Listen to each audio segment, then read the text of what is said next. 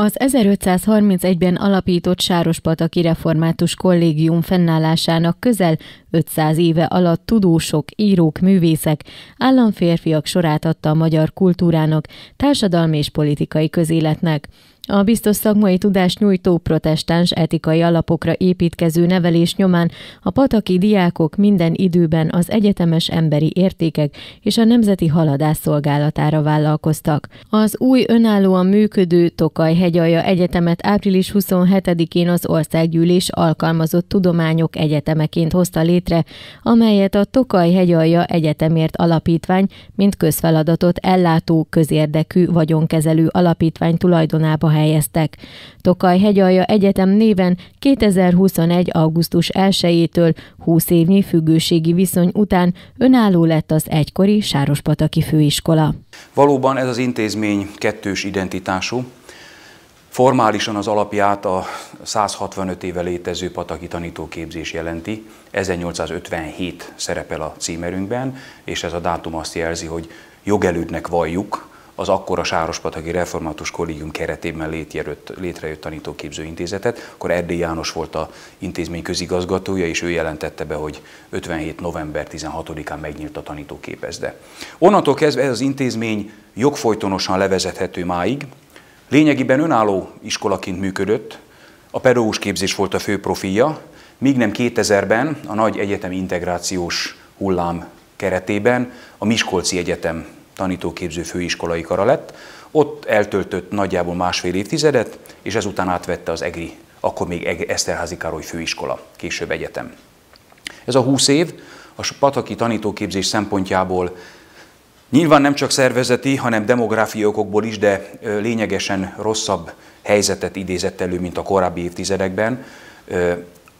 Az EGRI képzések jelen voltak ugyan a Pataki iskola falai között, de hiányzott az a fajta önálló innováció, ami egy intézmény saját identitásának a lényegét jelenti. És ez a ö, gyökér, ez a hosszú folyamat egészült ki a Tokai Hegyi Egyetem létrehozásával egy másik szegmenssel, és ha azt mondjuk, hogy ez a Koméniszű hagyomány a nevelés tudomány, akkor mondhatjuk, hogy a másik az új hagyomány, ami a gazdálkodás, a vállalkozásfejlesztés, a turizmus, a kultúra és örökségvédelem. Ez pedig talán ö, a Koménius Sárospatakra hívó Loránfi Zsuzsanna fejdelem asszony nevét jelezheti, hiszen ő a korának nagy mecénása, és mondjuk az, hogy kiváló menedzsere volt. Az új önálló felsőoktatási intézmény a Sárospataki nevelés történeti hagyományon alapuló pedagógus képzés, valamint a modern kor követelményeit kielégítő szőlészeti, borászati, turisztikai gazdálkodási, továbbá az ezekhez kapcsolódó kulturális örökség tudományok képzések terén hívja és várja lendő hallgatóit. A hívó szó, a kulcskérdés az a, a régió egészét átfogó és a világ számára leginkább megjelenítő bor. A borkultúra, a szőlő és borművelés. Ugye Tokajról beszélünk, a nem elcsépelt kifejezés, ugye, hogy a himnusz kezdve a gyerekek találkoznak ezzel bárhol, bármely részén élnének Magyarországnak, és valóban így van, hogy ebben a régióban szőlészet és borászati felsőfokú képzés nem létezett eddig. Tehát az új egyetemnek tulajdonképpen az a küldetése, az a, az a hívószava, az a gerince, amely a képzés, a többi képzésnek is megadja az alaphangját, az mindenképpen a szőlész és borászak. Népesség megtartó erőt fejlesztve, hogy akik itt vannak, azok ne menjenek el lehetőleg, vagy akik máshol vannak, ők meg jöjjenek ide és itt teremtsenek új kultúrát. Az új intézmény rektora Bolvári Takács Gábor lett, aki úgy véli, hogy a Tokaj hegyalja Egyetem létrehozása Koménius óta a legnagyobb intellektuális beruházás a térségben. Nagy megtiszteltetés számára, hogy ebben a lehetőség kibontakoztatásában szerepet játszhat. Mindenképpen személyes siker, sőt nagy megtiszteltetés, végül is fölkértek és meghívtak erre a pozícióra, amely ugye jelenleg megbízott rektori tisztség, de nyilván lesz majd pályázat, az intézmény folyamatosan éri el azt a pontot, ahogy úgy működjön, mint bármilyen más, ugye folyamatosan régóta azonos formában működő egyetem. De a dolog lényeg, a kérdés lényege mégiscsak az, hogy igen, itt, a, itt egyrészt szerepe van annak, hogy akik itt vannak, azok ezt a kultúrát magukénak vallják, és, és otthonosan mozogjanak a Sárospataki nevelés történeti hagyományban. Ismerik a régiót. Fontos tudni Szerenstől Sátorújhelyig, Pálházától Zemplinagárdig, hogy mi az, ami található. Tovább megyek, a Tisza túloldala is ugyanúgy vonzáskörzet, vagy elmehetünk akár Miskolcig, vagy Észak-Magyarországig.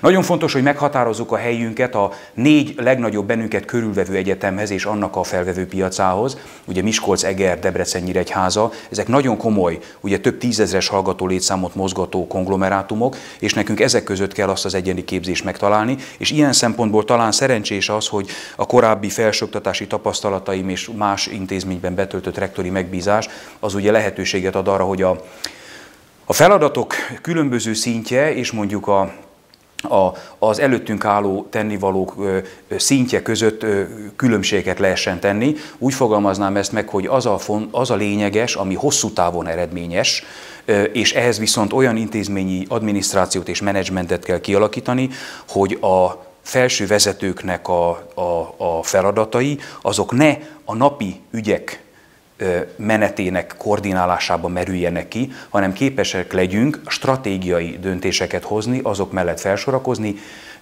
és így eredményt elérni. És ehhez még egy gondolat. Ebben az intézményben az elmúlt 10-15 évben folyamatosan leépült a saját adminisztráció. Nincs ebben semmi meglepő, hiszen előbb egy kar voltunk, aztán egy kampusz, egy másik egyetemnél, és ugye a gazdaságosság azt jelenti, hogy olyan funkciókat, amelyek ellátható központilag, azt innen elvitték. Amikor augusztus 1-én megnyílt az egyetem, akkor lényegében tuszatnyi pedagógus, azok a hallgatók, akik eddig is ide jártak, ezek alkották az állományt, tulajdonképpen a portásokon és a takarítókon kívül, akik nagyon fontosak természetesen, nem volt olyan apparátus, pláne nem menedzsment, gazdasági osztály vagy más. Ezt fölépíteni, összehangolni, úgy, hogy az emberek keressék a közös feladatot, és érz, ér, érzékeljék azt, hogy ebben mi a, mi a mindannyiunkat elérni kívánt cél, ez valóban nem kis feladat, de hiszek benne, hogy jó kollégákkal ez, ez megvalósítható. A Tokaj hegyalja egyetem vezetése történelmi feladat előtt áll, amely egyszerre könnyű és egyszerre kihívásokkal teli.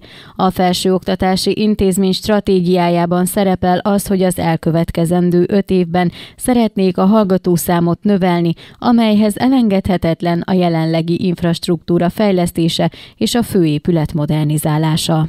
És akkor, hogyha minden tanszéknek és szaknak funkcionálisan, kifejezetten az ő részére kialakított oktatási helységei lesznek. Csak egy példát mondok, mondjuk egy, egy turizmus vendéglátás szaknál ta, ta, tanétteremnek szüksége, lennie kell. Tanszállodánk az van már félig készen, a Hotel Furmint, de mondjuk egy, egy szőlészborász képzésnél sem lehetséges az, hogy kölcsön laboratóriumokat kérjünk, hogy mondjuk ott el tudjanak végezni vizsgálatokat és különféle analíziseket. A lényeg tehát az, hogy legyen meg az az eszközállomány és épületállomány, amely a hallgatók számára, amikor belépnek, azt mondja, hogy igen, ide érdemes volt jönnöm, mert itt látom, hogy minden arra vár, hogy én elkezdjem a tanulmányaimat.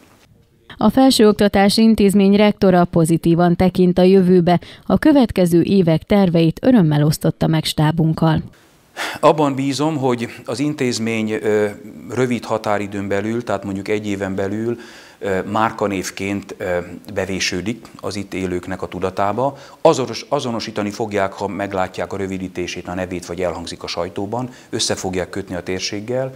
Föl tud zárkozni az egyetem, mint intézmény azokhoz a térségben egyébként régóta jelenlévő és tulajdonképpen önmagukért beszélő, beszélő kultúrás értékekhez, mint a, a kazinci kultusz, a Rákóczi szülőháza, a Kossuth emlékház vagy a, vagy a vár, tehát amelyek ugye évszázadok óta meghatározzák e, ezt a kulturális dimenziót, és, és partner talál a, a régió településeiben és intézményeiben, tehát nem nem egy új intézmény, amely valami fajta vetétásként olyan területet próbál elvenni, amit mi is szívesen csináltunk volna, mondja erre valaki, hanem, hanem kiegészítő funkció, egymás erejének a megtalálása, és, és, és ebből fakadóan olyasfajta többletérték, ami az oktatáson kívül hosszú távon is kulturális értékteremtést jelent.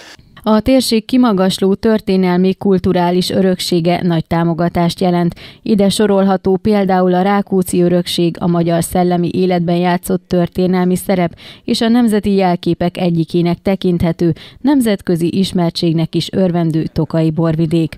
A Tokai hegyalja egyetem vezetősége és az oktatók szeretettel várják a hallgatókat az intézményben.